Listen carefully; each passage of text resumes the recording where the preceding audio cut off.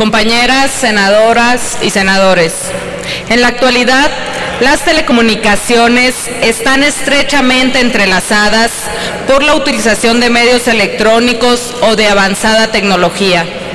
Una forma de conexión a distancia se realiza por medio de la telefonía, ya sea fija o celular,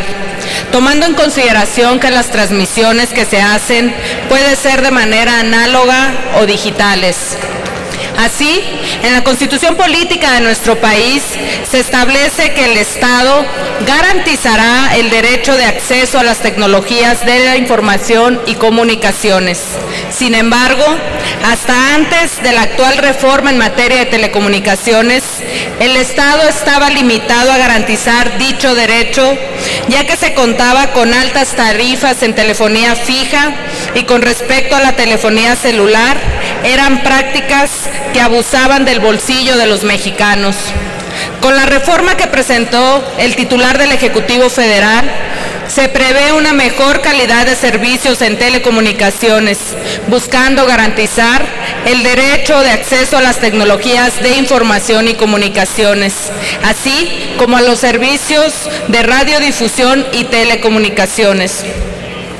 destacando que las telecomunicaciones serán servicios públicos del interés general, por lo que el Estado garantizará que sean prestados en condiciones de competencia, calidad, pluralidad, cobertura universal, interconexión, convergencia, acceso libre y continuidad.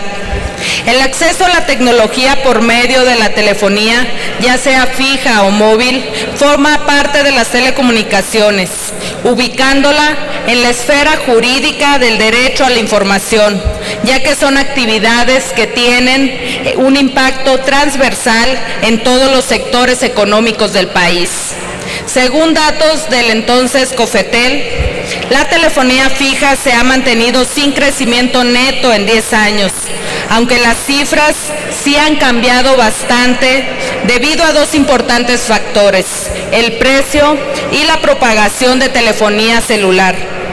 Estudios han revelado que la tendencia a la baja en consumo de líneas telefónicas se debe al creciente uso de la telefonía celular, que aunque es más costosa, tiene mayores ventajas digitales que no pueden ser encontradas en telefonía fija.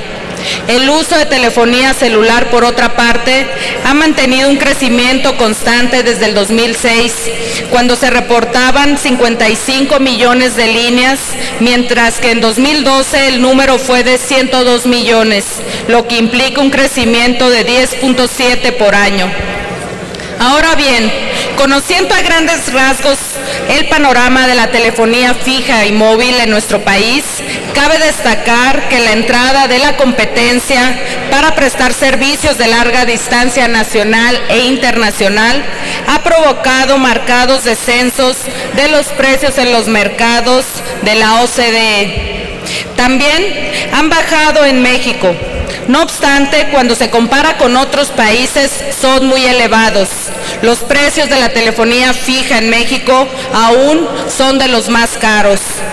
Esto impone un costo a los consumidores y es particularmente grave para el costo de las comunicaciones comerciales, en particular para las pequeñas y medianas empresas que predominan en México. Por las consideraciones antes expuestas, junto con mis compañeras,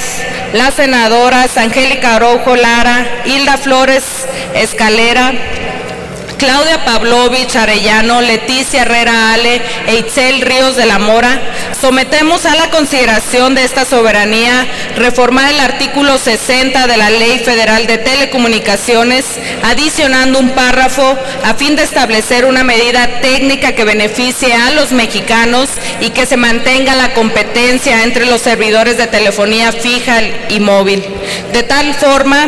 que tratándose del servicio de telefonía fija y móvil, el cobro por llamada realizado por los concesionarios y prestatarios será el mismo en todo el territorio nacional sin considerar la larga distancia de una ciudad a otra. Por su atención y por su apoyo, muchas gracias, compañeros. Es cuanto, señor presidente.